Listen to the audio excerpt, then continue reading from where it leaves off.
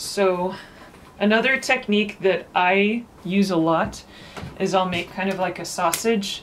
I karate chop it like this and then I squeeze the clay up from the bottom into the coil and then I squeeze the coil down from the top and I squeeze all the way on both sides. And to me, this is like the fastest way of working. The only problem with these processes is your pieces tend to start like getting wider and wider if you don't do it properly. Well, I mean, even if you are doing it properly, they tend to do that. So just quickly build this up. So as I'm building, I'm kind of taking the clay and squeezing it in and up so that it doesn't get too wide.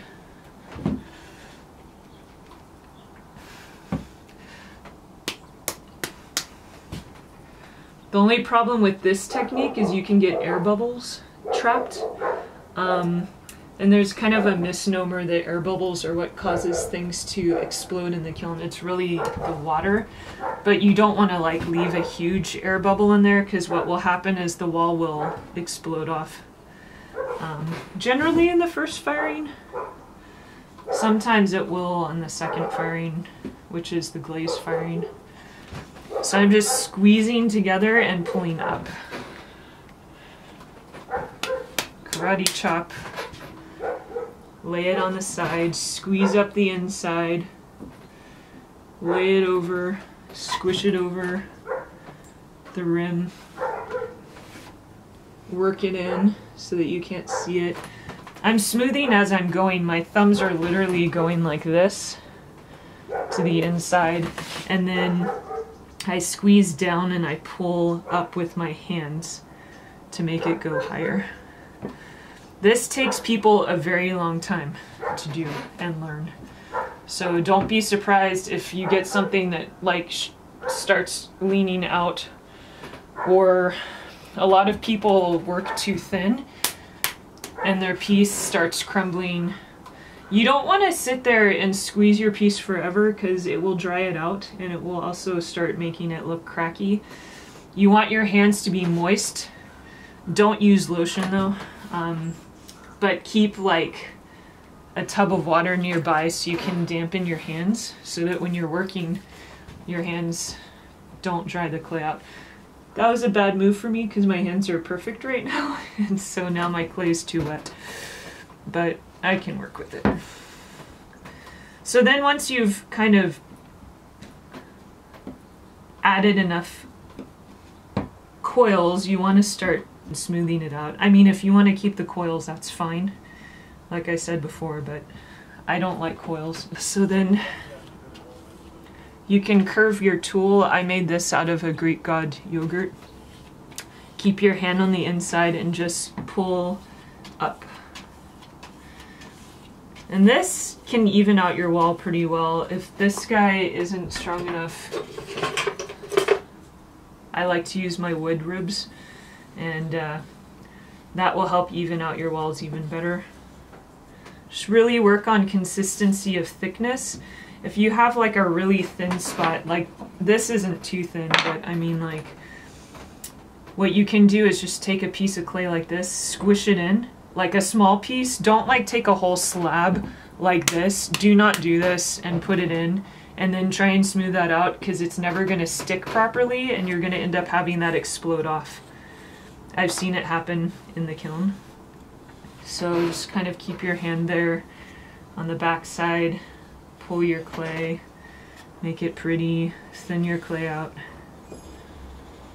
and get rid of the texture if you want to. Now, if you want this to be more round, you can actually start with a rounded piece and do the exact same thing. Get yourself some foam. Uh, this is like foam that I've used. I slept on this and I cut it up and I'm gonna turn it into more pieces to work on for clay. Um, but say you don't have that source, you could use a pillow, cover it with like a nasty old shirt or something so that you could um, make a round bottom. Um, or you can take your piece that you've already started and just by compressing it between your fingers you can actually round out the bottom. Um, and that's one way to make our pieces feel more lifted off the ground. The other thing with this though is that it would be more wobbly. So you kind of have to decide what you want. Do you want it stable? Is wobbly okay? And you can see by doing that this is spreading apart so I'm actually going to compress this and bring it back together. If your clay is cracking too much, your atmosphere that you're working in is too dry and you'll need a spray bottle or a damp sponge and just lightly go over your work. Don't soak it. Because when you soak your clay, it's like a dry desert and it will crack just like the desert is cracked. So make sure that when you use water, you use it very little.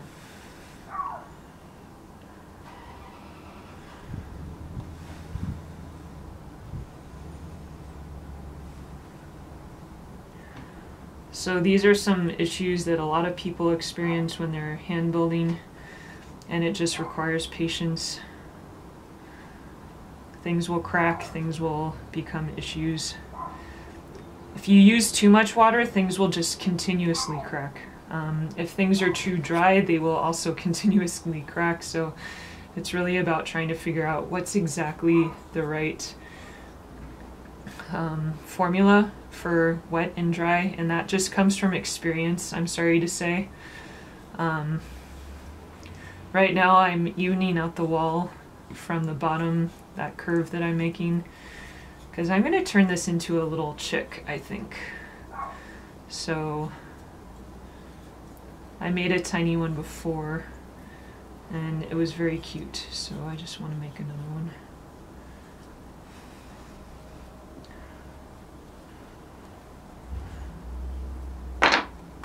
So see, this will happen. So what you can do here is kind of similar to the way that you fix a dry, dried out piece with a crack. Um, you just kind of score it, take a piece of clay, roll it into a tiny coil and then squish it in and then take your wood rib or metal rib and squish it back in. Same here. Sometimes the wood ribs start sticking to your pieces, so what you can do is just wet it. And then it'll slide much more easily. But again, see how wet that made my piece, so just be very careful with how much water you're adding. Alright. So I want this to stay round, so I am literally going to try and drape this up here. And now I have a nice little round guy that's going to stay pretty round as I work. So back to the hand building side of this. So as you can see, it's kind of like do a little fixing, do a little building, make sure you don't focus on anything too much or you're going to hand build up to this point and it's all going to collapse. Um, when I'm reshaping this, I'm actually compressing it, which again is making it stronger. So just remember, compression is really important. So that is compression, squishing the clay up into the side is compression. So squishing the clay up into the side of the coil and flipping it over, this is compression squeezing it right now and squishing the two sides closer to each other, like doing this motion is compression. And all that compression is doing what the volcanic process does. If you know anything about rocks, they're made by pressure and heat.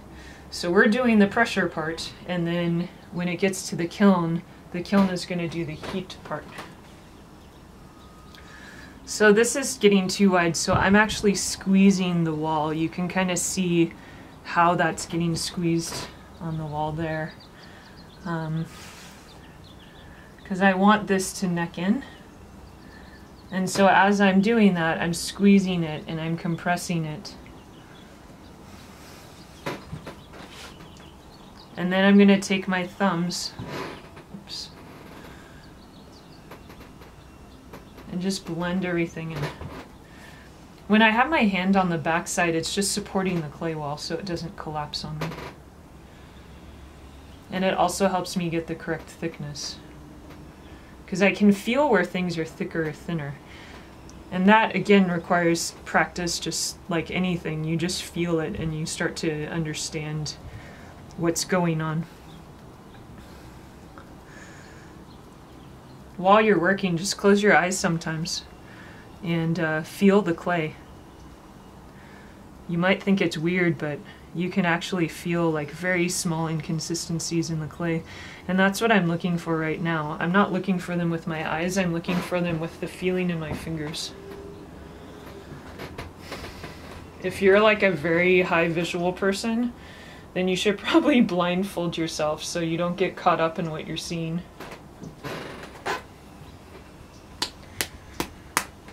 So then once I'm closing this, you don't have to do an enclosed form, but I start kind of building on the inside underneath and then I'll try and uh, keep the angle that I'm using. So I'm going to try and build this way.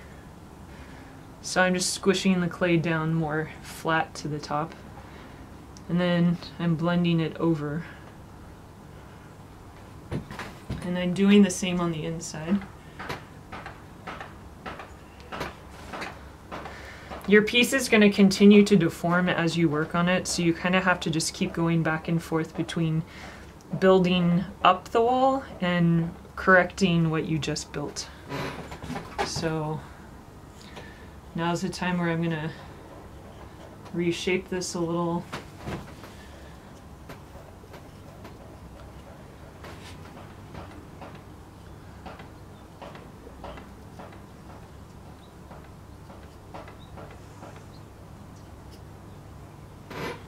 reshape and compress. Compress first and then reshape.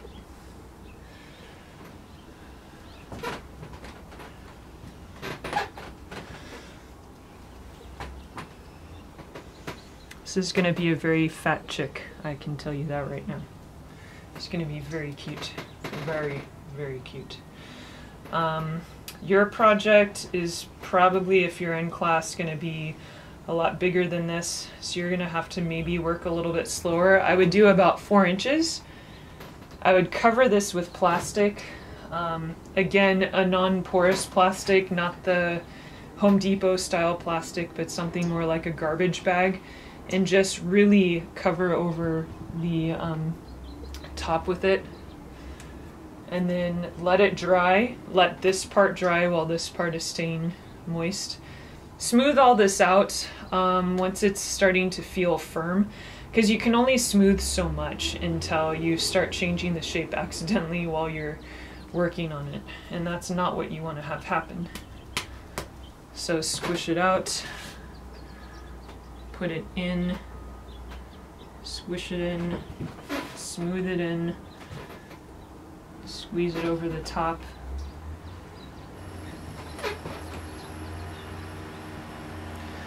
squish it together.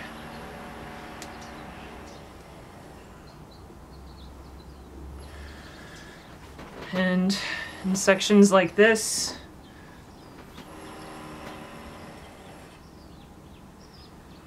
here, you might want to score, take a little pinch of clay, like a coil, put it in, squeeze it out and then take your wood rib, get it a little damp, and put it back in. Um, when you have this kind of perpendicular to the clay, it's going to cut. If you have it more parallel to the clay, it's going to smooth. So half the time what I'm doing is cutting clay off, and the other half I'm just smoothing. It's harder to do now on the inside. Um, and there's not much we can do because I'm gonna close this. If I was to cut it open and make a lid, then I could definitely fix it later. But this one is going to be an enclosed sculpture, um, which you can also do in one of your projects if you're taking the class.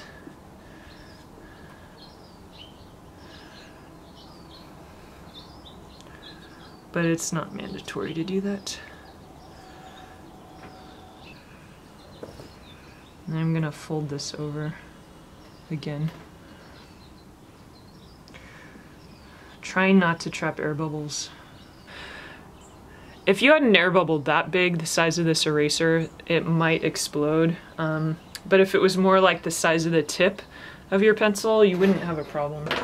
So just be very careful when you're you're hand building and even I've had air bubbles in my pieces when I throw as well. So just be cautious.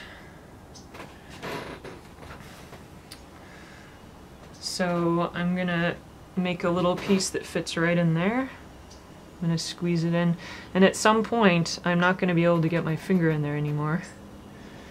And when that happens, then I'm just gonna kind of squeeze it onto my finger a little. And this is a good way to prepare it to close. Um, you can pinch it close. So that's kind of like a whole little project.